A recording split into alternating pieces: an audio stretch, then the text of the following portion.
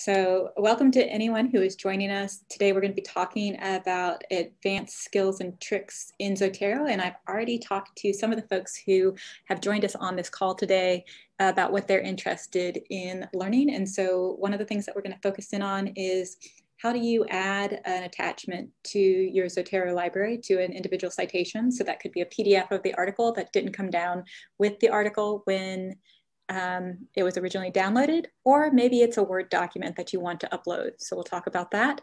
Uh, I wanted to talk about group libraries today. So teaching you what you can do with group libraries, what does it mean when it's a private library versus a public library, uh, what do are people able to see with that? And for students, that's gonna be helpful if you want to share your bibliography with your professor.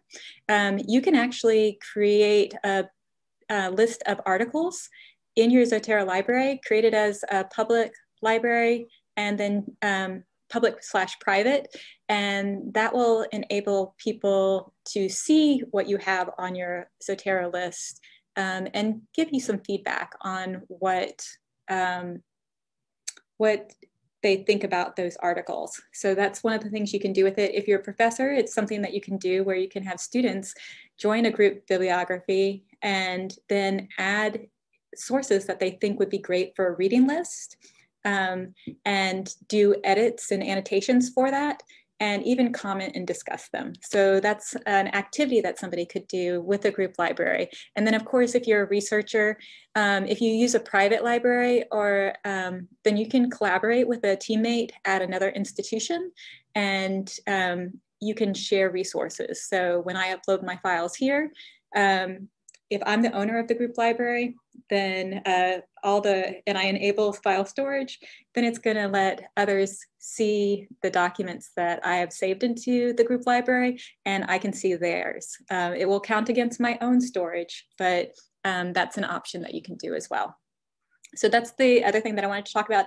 And if we have time, um, uh, the final thing that I thought would be interesting is just looking at how you can add additional styles. So you may be trying to publish in a journal and you can't find the style that you want in the list of styles um, on your default list. How do you add in a style? So those are the things I was going to cover. So to get started, let's go to um, let's go to my Zotero library. I'm going to go ahead and open my Zotero library. And we're gonna start with trying to add, up, add a, a PDF to an existing entry in our Zotero library. So I'm gonna share my screen and I'm going to share my desktop here so you can see me toggling back and forth between a couple of different tools. Uh, as we know on Zotero, you have your Zotero tool. This is my library with all my great fun, exciting sub collections and all my interesting uh, articles. And um, I, you can see in the background that you can see the online version of Zotero. So I'm just gonna close those really quickly. Let's delete that. And so to begin, let's just choose one of the articles that are here in my existing library. I have why Instagram is the worst um, social media for mental health. It looks like that's more of a Time Magazine article. So I'm going to try to see if I can locate a journal article. The little icons here that are blue indicate that these are websites that I pulled down. And then this would indicate that it's more of a journal article. So that's how I can easily tell by looking at my library which ones are journal articles. And as you know, um, if you uh, click on this little triangle here, you can see what kind of items are attached to it. So this one already has a PDF, so I don't need to find that one. Let's check a few more um, and see, it looks like several of mine came with a PDF. So here I'm gonna go to using curriculum mapping to scaffold and equitably uh, distributed information literacy for graduate programs. So let me set up my system here. It looks like I um, looks like I hid my notes area, which I've never done before. And now, of course, there we go. now, of course, I would be struggling with it. Okay, so um, this is the title of the article. Um, first thing I need to do is I got to figure out where this is located. I'm going to take the name of the journal. I'm going to go back to the library homepage so that we can find the full text of it. So let's go to agnesscott.edu forward slash library. And maybe Zotero, who knows why it didn't pull it down from um, the citation that you got it from. It might have just been that you were in this Discover tool and it had a full text finder button, but you needed to move on and locate the full text on another page. So it's possible that it just downloaded the page that didn't have the full text and we do have access to it. The easiest way for you to figure out if we have access to that publication is to go to find journals and then type in the name of the publication that it's in. So this would be Wall Street Journal, New York Times, the name of the journal itself, not the title of the article so that it can assess whether we have access to that publication at all inside of our library databases. And then um, once you identify it in the list that appears, you just identify which database has the full text of the version that you want. So these are all databases with different date ranges for that publication. As you can see, Science Direct has a lot longer uh, date range. So if I go back now to my Zotero library and look at the citation information, I can see that I need um, something from 2021. So this is a very recent one. So I need the most recent um, one of the, the January issue. So going back here, um, I can see that most of these are not going to work for me and only Science Direct will work for me. So I'm going to go ahead and click on that one. It's going to open up the database in the full in uh, a new page. And with different databases, it'll have different interfaces. Right now, what it's asking me to do is to register um, so that it'll save all my information in the account that they create for me. But I don't want to do that. I don't need that. So I'm going to just X out of this and um, go to the journal. And from here, I'm just locating the full text. Sorry, this is not something I was really planning on doing, but it's useful to know um, for finding we're going to be your best uh, first stop shop for getting access to your full text. So you might as well um, know how to do this in order to know how to upload it. Um, so let me go ahead and see if I can paste in the name of that article. Um, I can either do that or I can look at the, uh, browse through the issues. And I said that I was looking for January. So here's the January issue. And if I scroll through, um, you can see that this is the article that I wanted. So I'm gonna just go ahead and normally Obviously, I could just go ahead and I'm going to do this anyway. I'm going to go ahead and add this one to my Zotero library because I can show you how to remove duplicates. And, for, and you can see here it is technically downloading the PDF. Um, so that should be going into a new citation, but for some reason it doesn't want to do that. So it's X'd out. Okay, cool. They have some sort of firewall up that's preventing me from it. What I can do now is I can go ahead and download the PDF. And I have um, the option to click here to download it and save it to my desktop. You can see that it's down here. And when I go back to my Zotero library, now I just locate the citation. So you can see I have two citations here. Um, I'm going to add it to this top one. So you just click on the title that you want to add the item to. And at the top up here is where they have attaching a, a link, a stored copy of a file. So if I had done some notes on this and I wanted to upload the notes um, of a PDF, or maybe I used another tool to mark up my PDF um, and I want to attach it to the citation, or if we did the process that we just did right now, I can attach the stored copy of this file um, by clicking on that little paper clip and then locating that in my list of uh, publications, so uh, of downloads. So here's the article and now I'm opening it and now it's attached. Um, and so since I did create, uh, um, so th that's the way that you can do that. And now we'll have access to this PDF. When we click on it, it should open up into a PDF tool um, on my desktop. So any questions about that process? Yeah, um, did uh, I didn't notice, but of course at the beginning you didn't have the PDF attached to the file and you just showed us how to attach it. But did it have the abstract? Oh, um, let me take a look. Uh, so good thing that I um, already downloaded. So um, So this is the article that we just worked with. This is the one that I just downloaded. And um, you can see over here that it does. It's just they've collapsed it. I think this is a recent thing that they did. I really feel like I used to be able to see the abstract um, more easily, but they did have the abstract over here. It's just that it was collapsed. Um, and so I had to look for it in the field. Is it, is it possible that they might uh, download the abstract, but not the PDF? Uh, definitely. Because of different kind of access that we might have for certain journals? Yes, definitely. So that's, I mean, we clearly do have access to this publication, um, but they, this site is blocking it from being added. So if, if it's possible that there is a workaround to that, that I can go to the Zotero documentation. So anytime you have a question like this, you can go to zotero.org and they have a pretty robust uh, forum and documentation. So the documentation, we could look through there to see if there was something um, within the section about saving and sharing, saving items.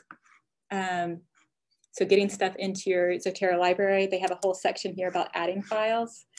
Um, but they might have something in here that talks about why some items won't download um, and what the workaround is, or you can go to the forums and they have lots of issues that people are answering here. And so you could search here to see if they know why Science Direct um, is not loading the PDF. So Science Direct, um, uh, might be how I start. And then I'd have to look through and see if they're talking about PDF in this search. So it looks like there might be something uh, with their metadata that is problematic and they might give me a solution. All right, any other questions with that? All right, so another cool thing that you can do in Zotero that you might not have realized, and I don't know if you guys are having libraries that look like mine. I have way too much stuff in mine, but um, let's go, uh, remember I downloaded two of the same article.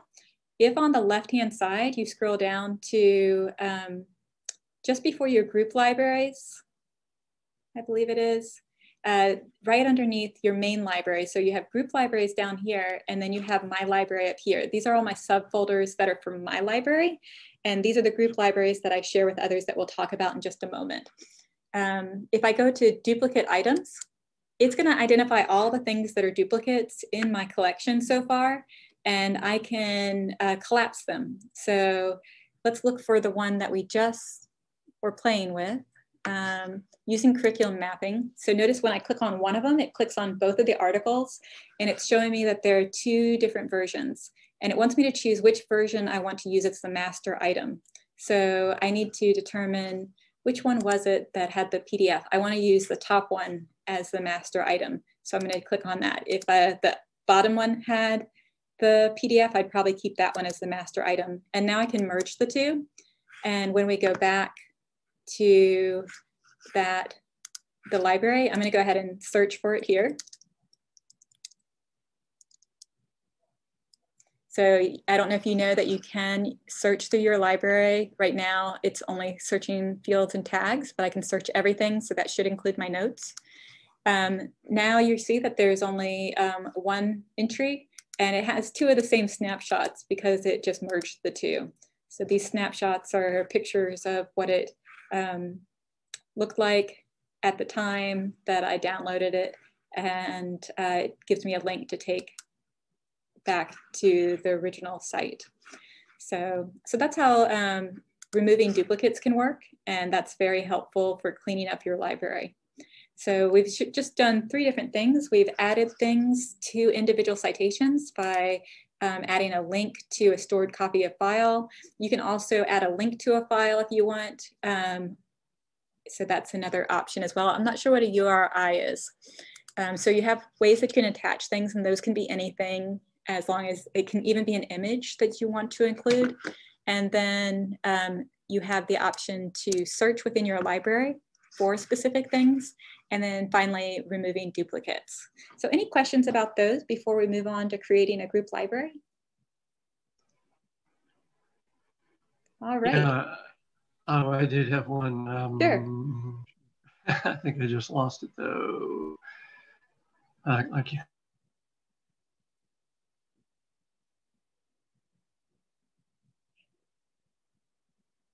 Okay, That's all so right. it'll come back to you. Okay, so we're going to move on to group libraries. So um, first thing, making sure that everybody has their library already synced to the web. So sometimes people create libraries and they don't end up creating a username and password. And because they never go to any other computer, um, they don't really notice that they haven't ever synced their library to the cloud. Um, but clouds, uh, syncing to the cloud is going to be important for doing group libraries. So the first thing I want to do is if you are on a Mac, you can follow me and go to Zotero and to preferences. If you are in on a PC, you'll go to edit and in the edit menu, there'll be preferences. So I'm gonna click on Zotero and go to preferences because that's where my preference menu is. Let's uh, minimize this just a little bit so you can see this standing out.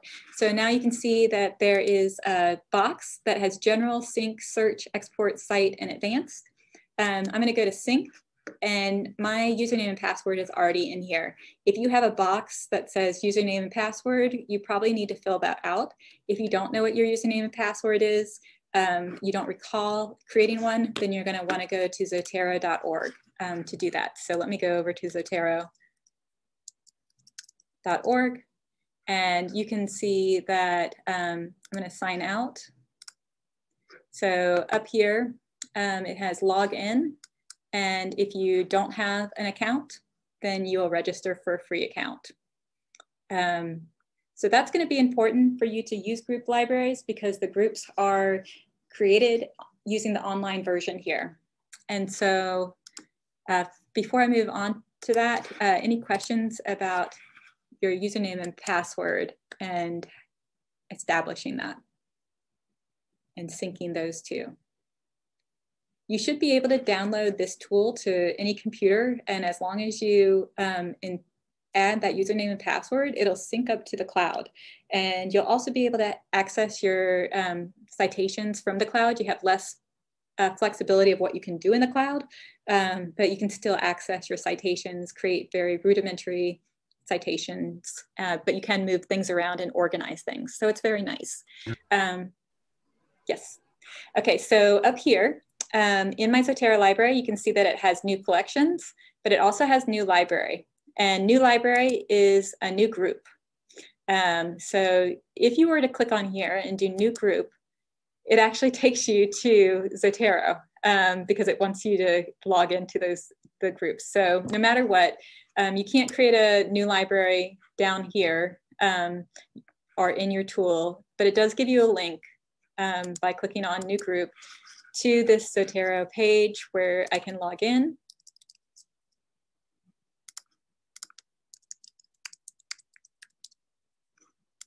And now I'm uh, able to create a group. So this is where you would create a new group. And remember, what you might create a group for is that you might be wanting to display your research. So maybe you want to create your own page with all your own citations of works that you've done. You've created a Zotero library of or a Zotero collection of the things that you created. Maybe this is for your department. Maybe you want to highlight all the things that people in your department have published. Um, in that case, you might want to do a public um, uh, group so that people can see things. And then you have to decide, do you want that group to be able to join instantly? And we'll talk more about what they're able to do once they join in just a minute. Um, so, or do you want to approve their membership? So people can apply or you can invite them, but nobody can just join without you approving it. So decide which one you want first. Or if you don't want anybody to see your work at all, except for the people that you invite, that's going to be your private membership. So you have to start by creating a name. Um, and I believe,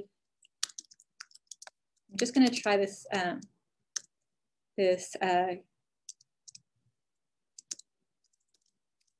there are things that it doesn't like. Um, it will create any uh, library that you want as long as the name doesn't already exist. So you might end up having to make things unique or Yeah, I don't know actually. To be honest, I don't know what the qualifications are because earlier I was trying to do advanced uh, Zotero skills and it was not letting me create this library. Um, it did not like that name.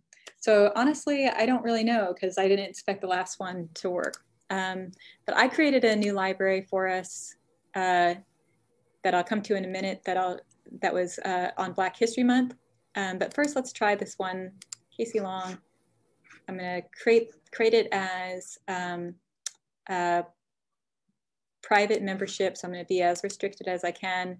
And now the next thing that it asks us to do is to decide what people can do. Okay, so um, I see a hand is raised. Do you have a question? Yes, I do. So is it possible to have more than one projects running on Zotero? So you would have in your library created your folders. What if one of the project is for your uh, directing reading class and you want your student to you want to share what's in that folder with your student and vice versa but it's not that you want your student to have access to your other folders is there a way to do that okay yes this is exactly it um, you can create as many groups as you have storage for. I can't tell you off the top of my head how much um, the free storage is. I can tell you that I hit my max, um, probably because I've been creating all these group libraries. Um, and it cost me $8 a year to pay for Zotero. So I love this tool. I think that's worth it. So I'm not I'm not worried about it. Um, but yes, that would be you would do that for every single um, group that you want to create in the different parameters that you want to share. And so what people can do once they're in it um, is that you can decide who can read. So this is a private group, but if you sent the link to somebody, oh, you can see that it's not even letting me um, click on it. So it's restricting things because it's private. But if I wanted to do public closed, anybody on the internet would be able to see it. Um, but you could also decide that you still just want only um, the group members to see it. So they might know that the group exists, but they don't know if it's a public closed library. They know the group exists, but they don't know what's in it and they have to ask to become a member. So you could just set this up at the beginning of your classes where you have this group and then you ask people to set up their Zotero account and ask to join, invite them to join your, um, your library. Um, and only they would be able to see the content inside.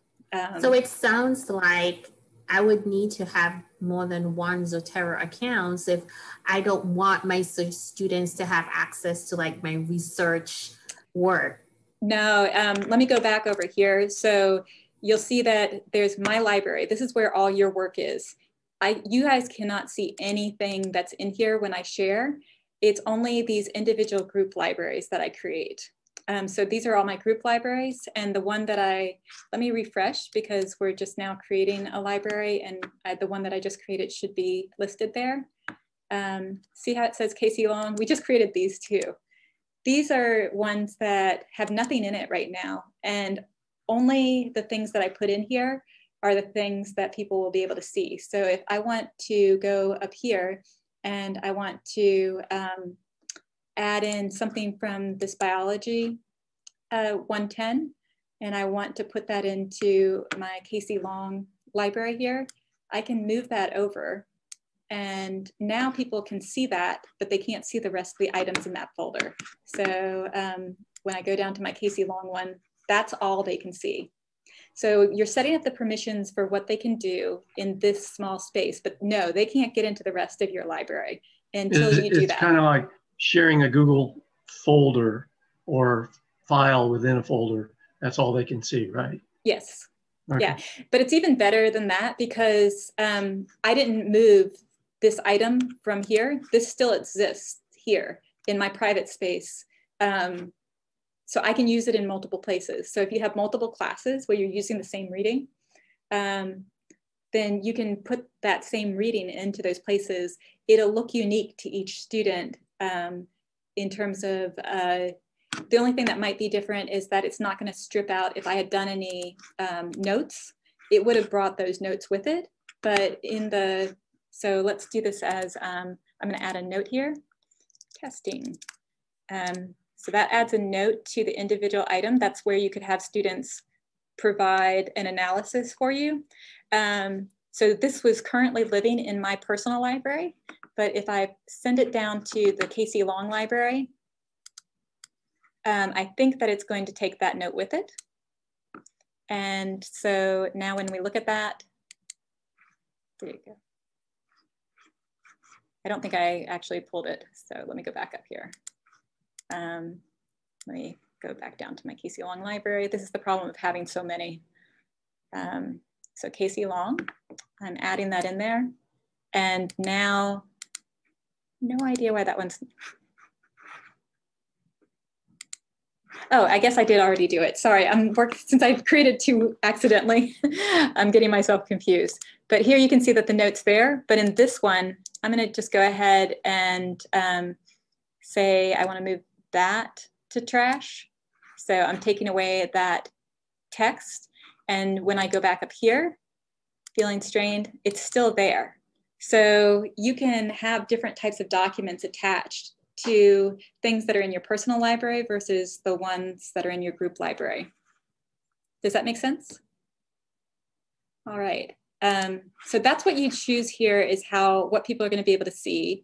Um, you can do public open, but that takes away a lot of your abilities to share notes and PDFs. So anything that you have attached to the citation they won't be able to see, even if it's people that you wanted to be able to um, edit things. So if you're working with somebody from a different institution, you never want to have it be a public open account um, because then you won't be able to share PDFs and documents like that, which is really important for um, being able to communicate thoughts about a particular work.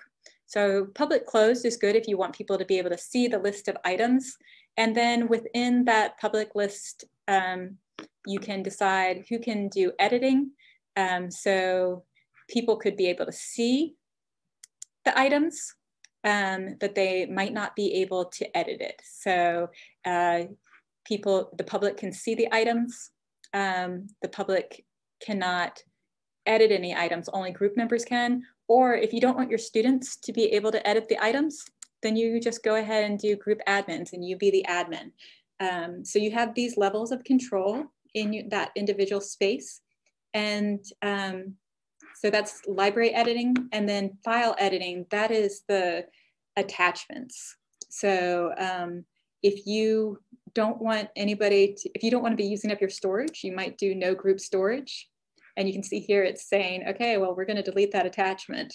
Um, or you can decide that only the admins can attach things. So it's a lot of things that you have to decide what you want to do. Um, but those are some of the options that you have in a group library. And we've hit our time. I'm happy to keep um, going, but um, I wanted to make sure that you know how to use this group libraries. Um, and if you have just a moment more, I'm going to share with you in, um, I had uh, some people who just joined us, I didn't, um, if you put your email in chat, I'll go ahead and I'll share one of the libraries that I created with you. Um, but uh, if uh, you just give me one more moment, I'm going to show you uh, what that Can library I just looks ask, like. Yeah. Did you did you add names of people for each group there? Um, I mean, tell so, Zotero who the people are in the group. Yeah, so um, if I go ahead and I log in um, to the group that I created before, so I'm gonna, I'm gonna stop, uh, I'm gonna pause the recording in just a moment. So I'm gonna go into this Black History Month one that I created. You can see how, how this is a sample group that I created as a demonstration for a Zotero workshop. It's a public closed one and only members can view and see. Um, if you wanna see what it looks like as a standalone thing, this is what it looks like. Um, and uh, if you are not a member, then you can't access um, or download some of the items, but you would be able to see them if I sent you the link. Um, but in terms of, let me go back. In terms of uh, managing the members, um, I'm gonna go in here to uh, the members. And this is where I'm gonna pause for just a moment. So you can see the names of the people that I invited. So you can add invitations down here. And right now I can see who has accepted it. So if you want to see this library and the inner workings of it, go ahead and send me your email and chat and I'll add it. But this is how you can identify um, who has uh, been invited and then um, who has accepted their invitation. And That, you'll get that could be a class, right? Mhm. Or a subset of the class. exactly. Okay. And students can do this on their own too. You get them set up with Zotero.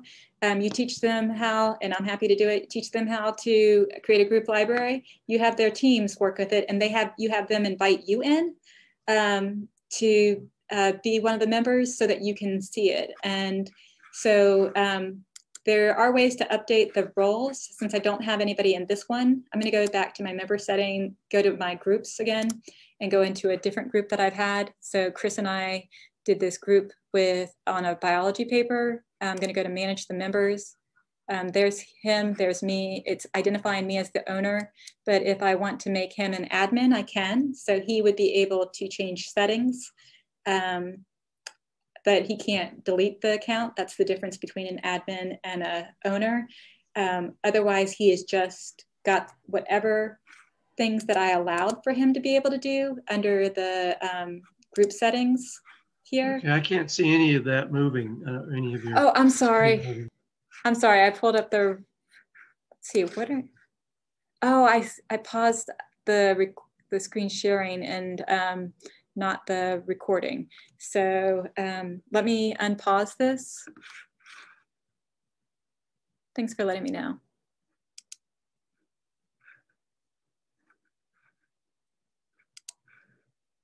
I've never unpaused.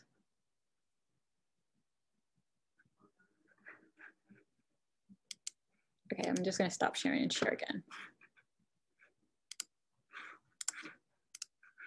Okay, so this is um, a group setting that um, my colleague and I did. And uh, in it, um, let me stop the recording or pause the recording.